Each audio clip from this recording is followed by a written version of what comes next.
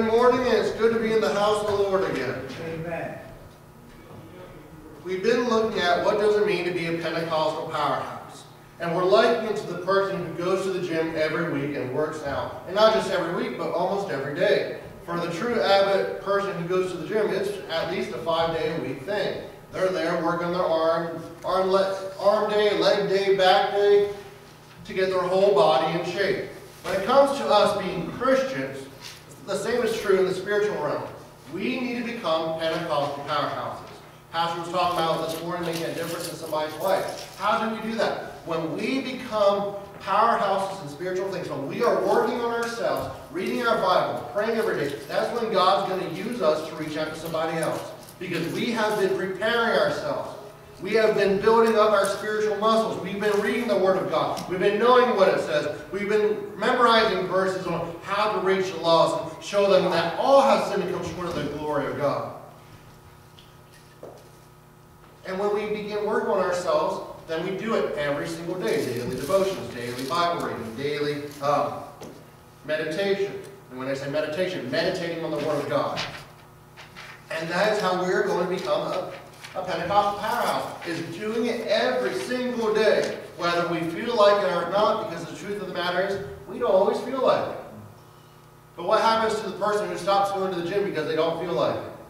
They're no longer going to remain the, the powerhouse that we know them to be. All that muscle is going to turn to flab and everything else. They have to stick at it. The same is true with us. If we are going to be used mightily in the things of God, if we're going to become mighty in spiritual things, then it's going to be an everyday practice, everyday routine, whether we feel like it or not. We looked at prayer, we looked at faith, and we looked at um, the armor of God. And what did it say about the armor of God? That it's mighty to the pulling down of strongholds. That is why we're trying to become Pentecostal powerhouses. Because there is a real enemy out there uh, with real attacks. I was talking to somebody, I think it was Brother Eli last night. We can have all these satanic video games and everything else in the society that we live in, but everyone, including Christians, is practically blind to the fact that the devil is on the rampage working through these things, and that he's out there trying to seek whom he may devour.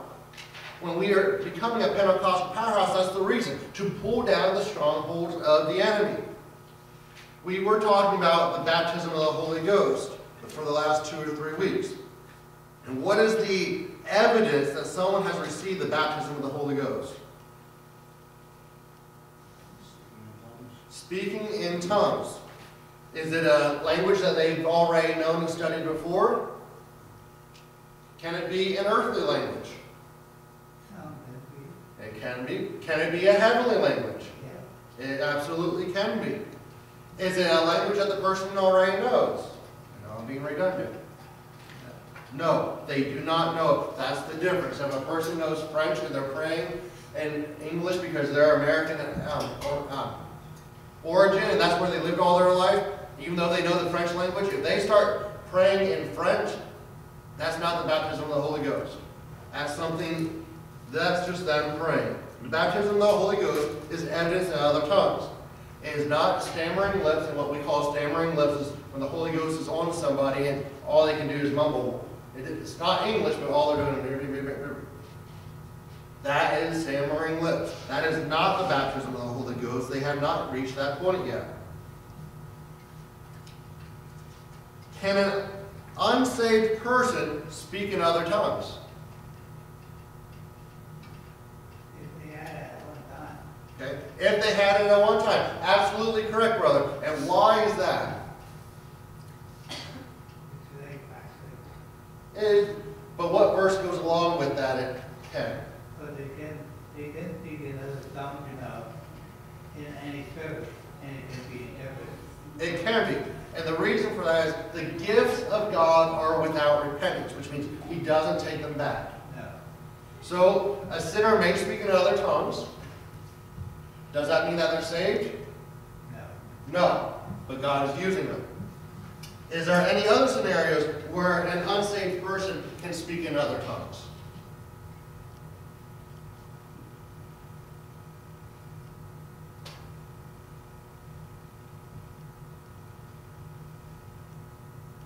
This person's not saved. They've never received the baptism of the Holy Ghost as we know of it, but they speak in other tongues. Is that possible? Oh, I guess Satan can use that tongue for his own glory. The devil has his own handle on the gifts. They're a mockery of the gifts, so they're not the true gifts of God because everything he does is a copy. The devil is not the author of creativity, only God is. When we look at everything that the devil has set up, it's a mirror image of everything that God has done in the past. All the way down from the way that he uses his own gifts or mocks of them, uh, to the way he has his governmental system set up with his angels, all the way to we see the mock of the resurrection of Christ in the book of Revelation when the image is brought quote unquote to life. It's, or I should say, the beast is healed of the deadly wound. It's like he came back from the dead. So the devil has his own handle on the gift. So an unsaved person can speak in other tongues. A, if they once had the baptism of the Holy Ghost and now they are backslide, or backslid because, because the gifts of God are without repentance, is the verse, and that's the phrasing, but when you look at that verse, it means God doesn't take back his gifts. Or an unsaved person may speak in other tongues, even though they never set foot in a church, because the devil has come upon them and is using them. I remember, uh, I think either Sister Beth told me or I read it somewhere, that there was a church group that heard about this, uh, these Catholics that spoke in other tongues. And there was a missionary there who was a linguist, and they all went to check it out, and the linguist got closer to the front where the Catholics were um, praying. And as soon as she got to the front, she came right back and said, let's get out of here, they're all worshiping the devil. So the devil has his own handle on um, even the tongue itself, or speaking in other tongues, so we need to be careful. But tongues is the initial evidence of the baptism of the Holy Ghost. Has the baptism of the Holy Ghost ceased? How do we know that, brother? It tells, it tells enough. It dwells in us. Very good. I'd even go a little bit farther because the the Baptists like to say about the that verse that tongues have ceased. Tongues have ceased. How do we know that tongues have not ceased according to that verse? Do you remember a little bit down? The key is a little bit, a few verses past that. If tongues have ceased, It says tongues have ceased. then, then, uh, we, we as Christians going to be filled with the Holy Ghost. Oh, I don't disagree. I'm just trying to get biblically on why does it. and that it would be interpreted if it had ceased. Oh, I don't disagree with you, brother. But who's to say that we're not a whole bunch of nut jobs and, you know, that's not true, you know, what, that's not real? What does the Bible have to say about that?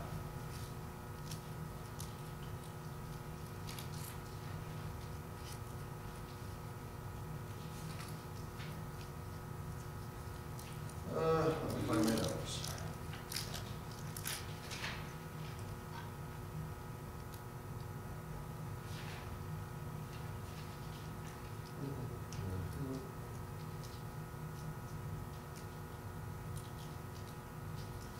First Corinthians thirteen eight is the verse with, about tongues seizing.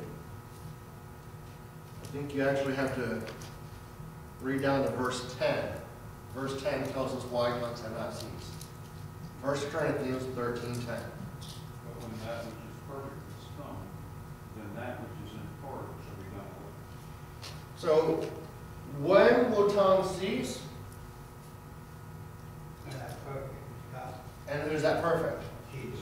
Jesus. Is he here right now? Because uh, the Baptists believe that it is away with when uh, the New Testament was going into. I agree, but we read last week that that's not the case. But that's the way they it. I, I know, brother. I just, we're looking at scripture, and if we trace it down through history, has tongues ceased throughout history? No. We read how many church fathers up until about 400 AD that claimed that tongues was still the initial evidence of the baptism of the Holy Ghost. And when we look at the book of Acts as a whole, has the book of Acts ceased? Has it ended? No, because it's the history of the church, and the history of the church is still being written. Therefore, that which is perfect has not come yet. And, And if it Jesus would have ceased. Exact, well, he would be, exactly, brother. And when we say exist, seated on the throne of David, physically seated on the throne of David in Jerusalem, ruling over the earth. Okay, now we're gonna move on for the sake of time. Um, if you don't have them, there are notes back there on the communion table. And we're gonna begin talking about spiritual gifts. The- and when I say spiritual gifts, more specifically, the gifts of the Spirit. When we look about, when we are looking at this, the main verse that I chose to start off with was 1 Corinthians 12, 31. 1 Corinthians 12, 11, and 1 Corinthians 10, 4. I'll read first, uh, 2 Corinthians 10, 4. If someone wants to read 1 Corinthians 12, 31, someone else 1 Corinthians 12, 11, they are at the top page of the notes if you have, if that's any easier for you. But 1 Corinthians 12, 31. Covet earnestly the best gifts, and yet show I, show I unto you a more excellent way. But covet earnestly the best gifts, and yet, yet show I unto you a more excellent way. What about 1 Corinthians 12, 11?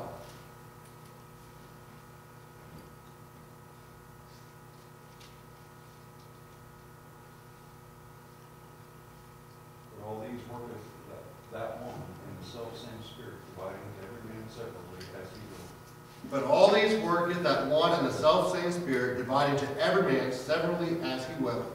2 Corinthians 10, 4. For the weapons of our warfare are not carnal, but mighty through God to the pulling down of strongholds. The main passages when it comes to the study of the gifts of the Spirit are found in 1 Corinthians chapter 12 all the way through chapter 14. And when we look at the Greek word translated gifts, it's actually uh, from the Greek word charisma. Why do I bring that out? I bring it out for this reason. There is a movement out there called the charismatic movement.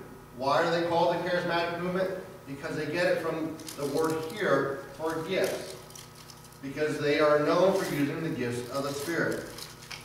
When we look according to Strong's Greek dictionary, the word charisma means this gratitude, a divine gratitude, deliverance from danger, passion, a spiritual endowment, religious qualification, or miraculous faculty, uh, faculty, a free gift. And when we look at the gifts of the Spirit, that's exactly what they are. They are a free gift from God. What is the uh, prerequisite or the requirement for receiving the gifts of the Spirit? He said, Okay, be saved is one. That's a very good one, brother. I, I didn't go back that far. So be saved. And what's number two? Baptize in the Holy Spirit. Baptism of the Holy Ghost. A person can have dreams and visions when they're saved. They can hear the voice of God when they're saved. But they cannot be used in the gifts of the Spirit unless they have first been baptized with the baptism of the Holy Ghost with evidence in other tongues. So I'm going to rattle our brains a little bit. So how many gifts are there? nine, I think. There are nine gifts of the Spirit. And what kind of gifts are these? If we're going to choose between fleshly or spiritual, Spiritual. they're spiritual. If I'm going to come and if the Holy Ghost was going to give you the gift of discernment of spirits, He's not going to come and hand you a Bible or something physical, or give you some type of meter that you can put out there and read, you know, saying, oh, pinpoint on this is what demon it is, yada, yada, yada. They're spiritual. It's the Holy Ghost working through us. It is a gift that God has given us, but the Holy Ghost is the one who teaches us how to use it, and He is the one that guides and directs us. So it is a spiritual gift. And when we look at the baptism of the Holy Ghost and the gifts, is there a distinction between the two?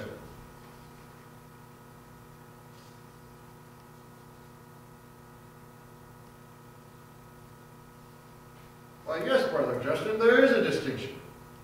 So what is that distinction? The distinction is this. The baptism of the Holy Ghost is for every believer.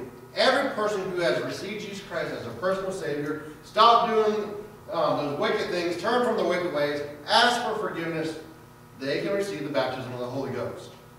Well, Phil, uh, into Phil, he tells you about kids. Which one is it, brother? 1 Corinthians 12, 8. He- Yes, sir. We're getting there. I'm just building up to it because we're not going to get into detail. So the holy baptism of the Holy Ghost is different and separate from the gifts of the Spirit. However, while everyone may receive every may receive the baptism of the Holy Ghost, and the baptism of the Holy Ghost with evidence is for everybody, not everybody is used in all nine gifts of the Spirit. Because the Bible is clear, the Holy Ghost told us that He is the one that divides to every man severally, several gifts, however He chooses. And He didn't say all the gifts, but He said several of them. But then some can have all. Some can have all. I won't disagree with that, brother. And I'd like to believe, and I don't see any evidence contrary, because of course it's up to God and the Holy Ghost. And when I say God and the Holy Ghost, the, they're one, but the Holy Ghost.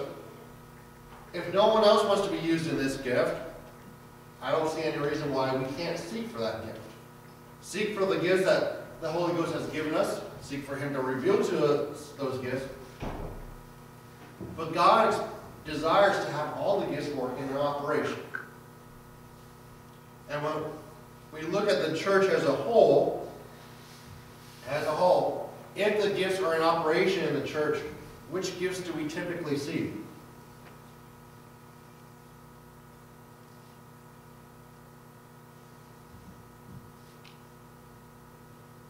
Tongues is one of them. Tongues is one of them, Interpretation. and interpretation. And wisdom. We, we can have the word of wisdom and we can have the word knowledge. I won't say that. They're a little bit harder to decipher because we may not always know when they're in operation. Because sometimes something might hit the pastor, Sunday school teacher, you know, and it just comes flying out and they can be there like, whoa, where did that come from? But no one else really pick up on it. So it's possible that that one's not picked up and I won't deny that that one's not being used. But if we had tongues and interpretation, what's the other known one that we have? Uh, Prophecy.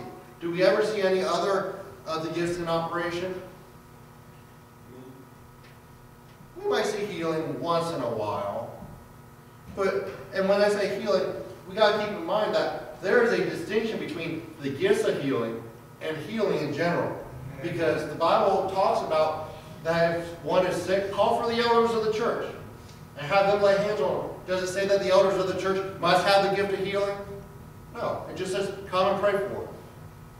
Bible says, lay hands on the sick, and they shall recover. Who was that commandment to?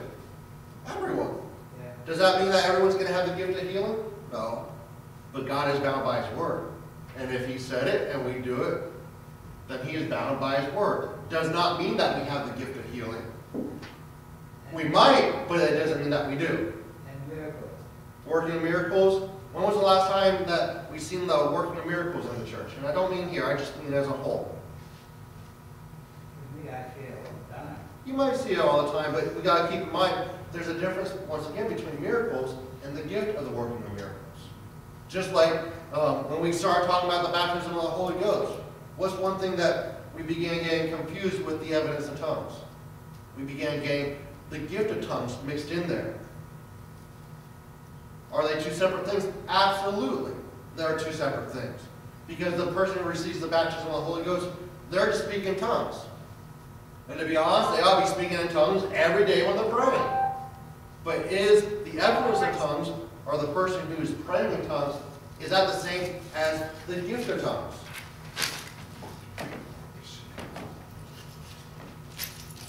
No, they're two separate things. If we're not careful, we can get them blended together and mixed up. But in reality, they're two completely different things. When it comes down to the person who is praying in tongues, who's that for? For that It's for that person. But if a person is in a church service and gives tongues forth, who's that for? That's for everybody. So there's a distinction. Everybody can pray in tongues that has the baptism of the Holy Ghost. But not everybody that has the baptism of the Holy Ghost has the gift of tongues. They're distinct. They're separate. Does that make any sense? I mean, if we're not careful, we can blur things together, but that still doesn't make them the same thing. They're still separate. They're still complete. So just because we might see somebody heal because we laid our hands on them and prayed for them, doesn't mean we have the gift of healing. It It just means that God is bound by His word. But there is such a thing as the gift of healing.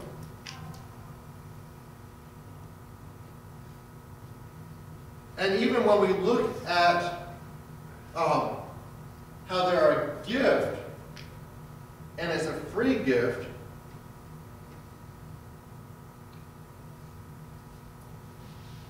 let me back up, I don't, I don't even want to go there. But we've already said that there are how many gifts of the Spirit? There are nine gifts of the Spirit. And when we look at these nine gifts, they're actually broken down into three different categories. There is the revela- there are the revelation gifts, the power gifts, and the inspiration gifts. The gifts that we see most of the time in operation in the churches are the inspiration gifts, the tongues, the interpretation, and prophecy. Those three are the three that we normally see go forth. There are such a thing as the revelation gifts that we've already mentioned to you this morning.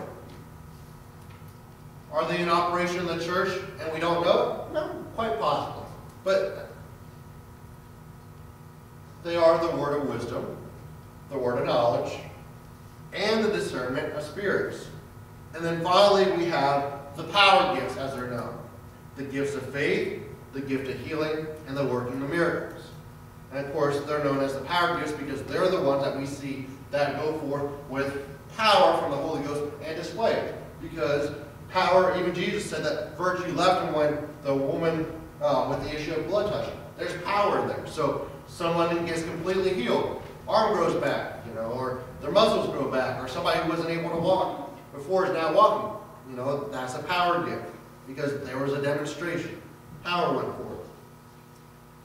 And when we look at the gifts and the number that there are, there are nine gifts and three categories. And when I say categories, keep in mind who decided the categories for them, the revelation gifts, the power gifts, and the inspiration. Who gave them that title?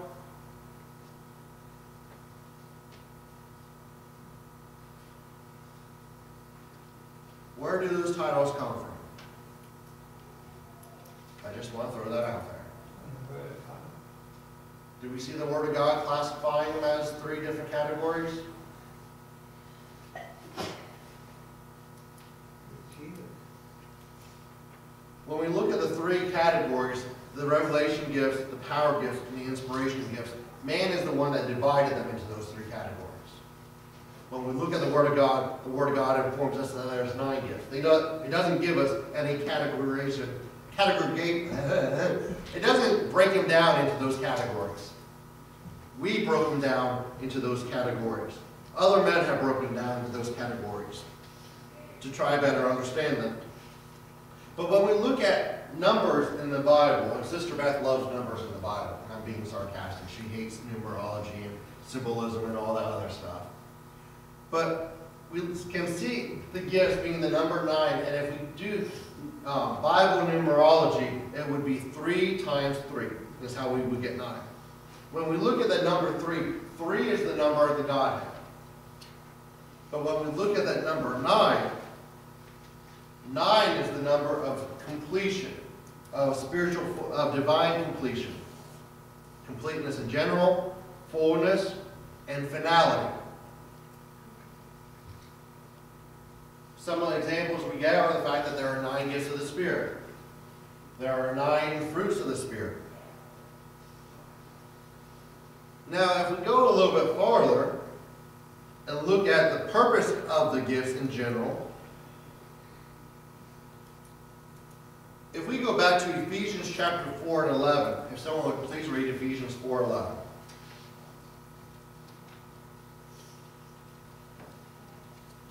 And if you want to hold that passage, and then I'll have you read verses 12 and 13 here in a second. Well, just go ahead and read the whole passage.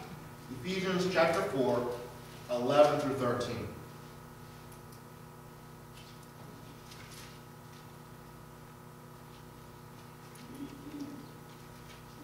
Some apostles and some prophets and some evangelists and some pastors and teachers for the perfecting of the saints, for the work of the ministry, for the edifying of the body of Christ, that we all come in unity of, of the faith and of the knowledge of the Son of God unto a perfect man, unto the measure of the stature of the fullness of Christ.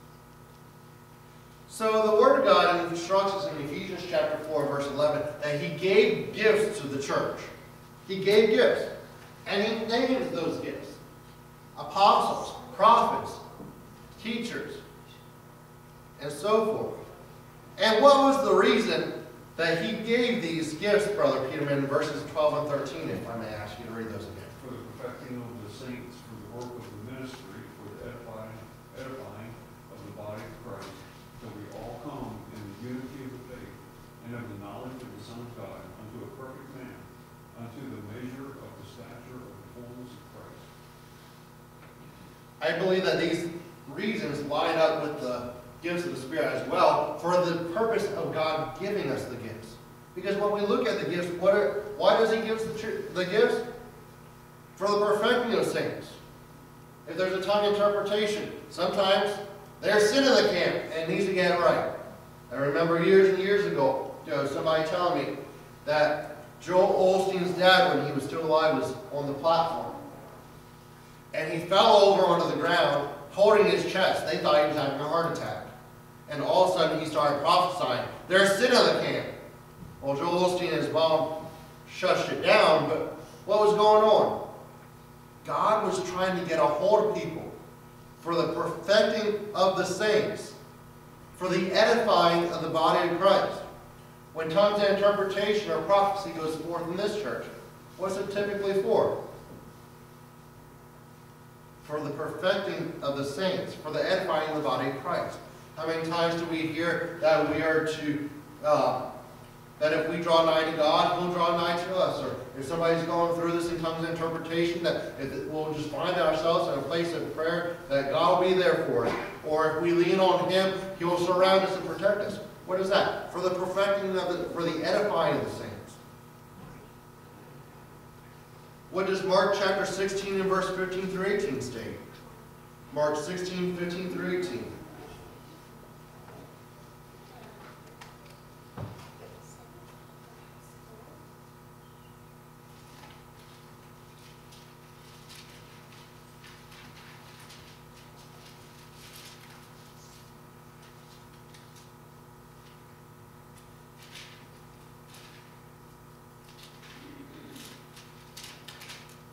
If someone has First uh, Mark 16, 15 through 18. And he said unto them, Go ye into all the world and preach the gospel to every creature. He that believeth and is baptized shall be saved, but he that believeth not shall be damned.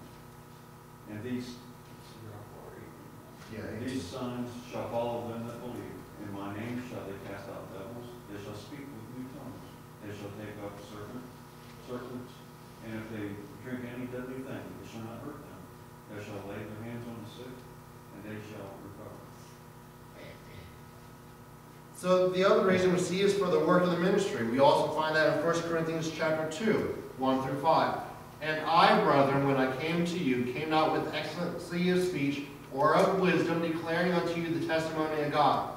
For I determined to know, and not to know anything among you, save Jesus Christ and Him crucified.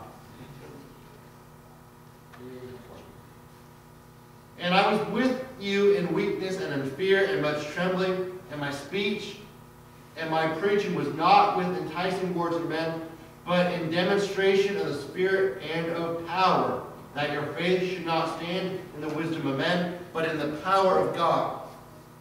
So why would the gifts of the, of the Spirit be given to the church? For the work of the ministry. Even when it came to the Apostle Paul here in verse 4, what did he say? I didn't come with you enticing words. I didn't come to debate. But how did he come? In the demonstration of the Spirit. What is the demonstration of the Spirit? The working of the gifts of the Spirit.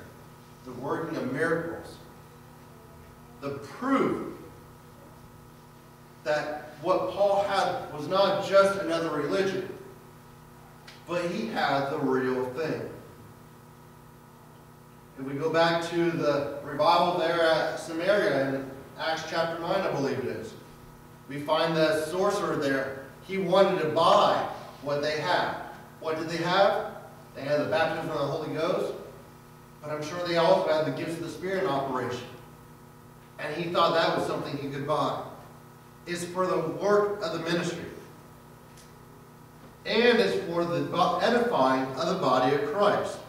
If I, I'll go ahead and read 1 Corinthians chapter 14. And there's several verses here we'll look at.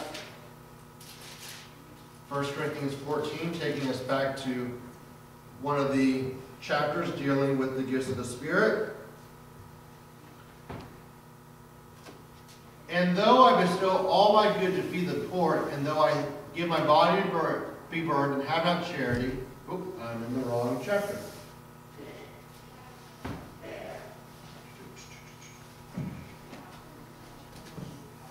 But he that prophesieth speaketh unto men to edification and exhortation and comfort. He that speaketh in an unknown tongue edifieth himself. But he that prophesieth, guess who he edifieth? He edifieth the church. Verse 12. Even so ye, for as much as ye are zealous of spiritual gifts, seek that ye may excel to the edifying of the church. And finally, in verse 26. How is it then, brethren, when ye come together, every one of you hath a psalm, and hath a doctrine, hath a tongue, hath a revelation, hath an interpretation? Let all things be done unto what? What's that, brother? It does, but the word here in this passage says, unto edify. And who's it edifying? The church. So the purpose of the gifts of the Spirit, and we've discussed some of them, are for the perfecting of the saints, for the work of the ministry, for the edifying of the body of Christ. We will conclude and finish up next week. Does anybody have any thoughts, any questions, anything that they would like to add?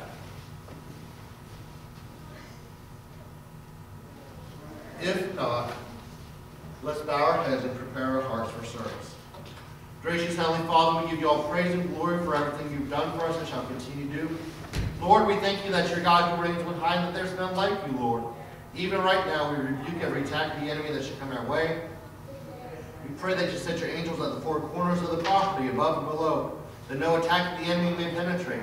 I pray that our hearts and our minds will be one mindset one accord, that we may worship you in sincerity and truth, that the Holy Ghost may move as he so desires. I pray, Lord, that you'd anoint our minds and our hearts, that they be plowed, that they be good soil, Lord, that we may be in unity, Lord, that we may take to my, remember the things that the pastor has for, spoken to us, that you have spoken to us today, Lord.